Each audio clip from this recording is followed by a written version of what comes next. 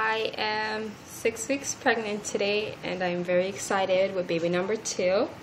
So this week has not really been my greatest week.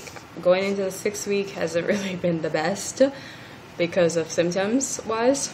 Um, so for symptoms, the six week morning sickness has started. No, I was really hoping that I could beat it, but unfortunately I couldn't. It lasted long enough for five weeks after the fifth week it started. It's still pretty mild. It's not like a heavy duty morning sickness as yet. It hasn't reached that point yet, but it just makes me more cautious on basically what I eat. My sore breath, my breasts are still sore, but basically after I made my five week video, the next morning my breasts were not even sore to the touch anymore. Like now I could touch them.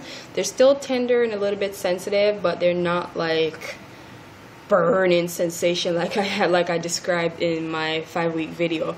They have begun to get really full. They've gotten much, much, much fuller. The next one is um, my cra um, I've been craving um, Chinese food like crazy this week. This week I have eaten from all sorts of Chinese food places. It's like the craving is I have to have sweet and sour pork and noodles and fried chicken. It's it's just it's a need to have. It's not a must have, it's a need to have this week. Food is starting to taste much differently for this week.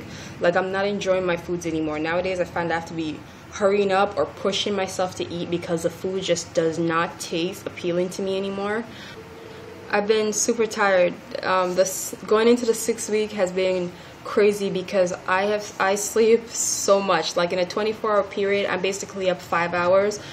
Yeah, so staying up has not been easy. So as you can see my eyes, I am so so so so tired. Like baby has been draining my body this week. Um, I've been still peeing more. I've been peeing a lot more this week still also also my areolas have started to darken a little bit and I think that's basically it for symptoms this week so I'm gonna go ahead and show you guys a shot of my belly now alright so I'm gonna go ahead and show you guys my six week belly from the back and each side and the front.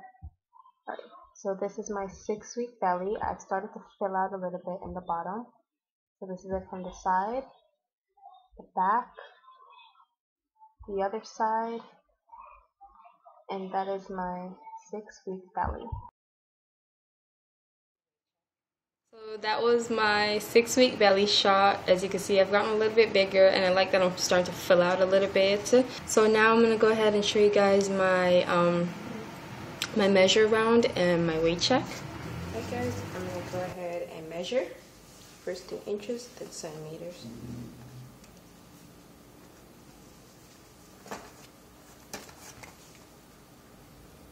I am 29.5, so 29.5 inches around, uh, let's see, centimeters. I am 75.5 centimeters.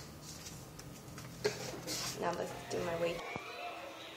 I'm about to check my weight.